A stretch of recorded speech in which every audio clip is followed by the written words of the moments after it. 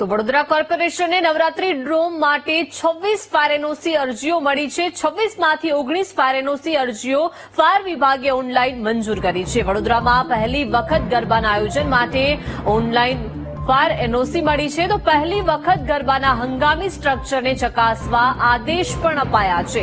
વડોદરા કોર્પોરેશનના chief fire officer Nikunj આઝાદની સ્પષ્ટ વાત તેમણે જણાવ્યું છે કે જો નિયમોનું પાલન ન કર્યું તો ફાયર એનઓસી નહીં મળે. ફાયર એનઓસીના નિયમોનું પાલન કરવું ફરજિયાત છે.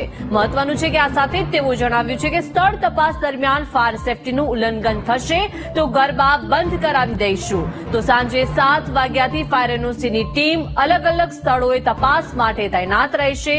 આ સાથે જણાવ્યું છે કે ફાયર વિભાગની દરેક ટીમમાં છ ફાયર જવાન અને બે અધિકારીઓ હાજર રહેશે.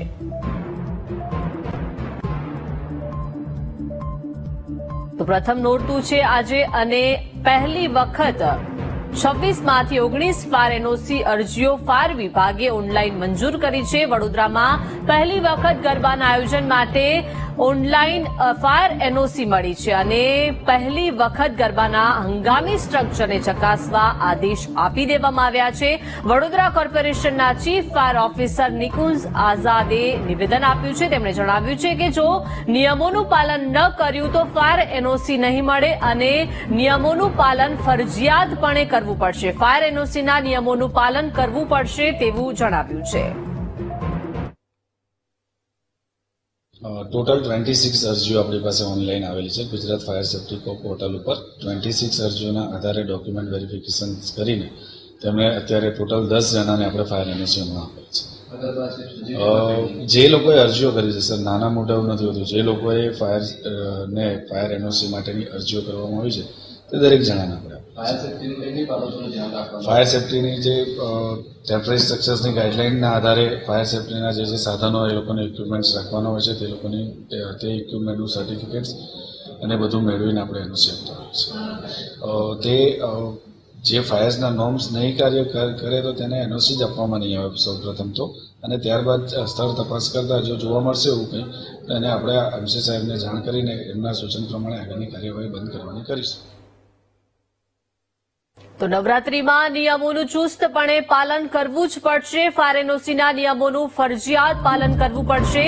તો વડોદરામાં પહેલી વખત ઓનલાઈન એનઓસીને મંજૂરી આપવામાં આવી છે. સ્થળ પર તપાસ દરમિયાન ફાયર સેફટીનું જો ઉલ્લંઘન કરવામાં આવશે, તો પગલાં લેવામાં આવશે. સાંજના સાત વાગ્યાથી ફાયર એનઓસીની ટીમ અલગ અલગ સ્થળો પર તૈનાત રહેશે. છ ફાયર જવાન અને બે અધિકારીઓ આ દરેક તપાસમાં હાજર જોવા મળશે. વડોદરા કોર્પોરેશનને નવરાત્રી ડોમ માટે છવ્વીસ ફાયર એનઓસી અરજીઓ મળી હતી અને આ છવ્વીસમાંથી ઓગણીસ ફાયર એનઓસી અરજીઓ ફાયર વિભાગે ઓનલાઈન મંજૂર કરી છે. તો વડોદરામાં પહેલી વખત ગરબાના આયોજન માટે ઓનલાઈન ફાયર એનઓસી મળી છે અને પહેલી વખત ગરબાના હંગામી સ્ટ્રક્ચરને ચકાસવા માટે આદેશ આપી દેવામાં આવ્યા છે.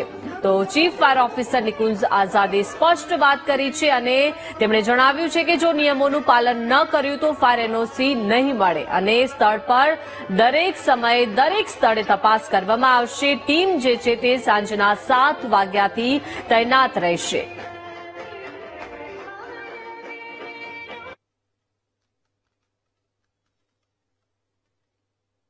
તો આ તરફ નવરાત્રીના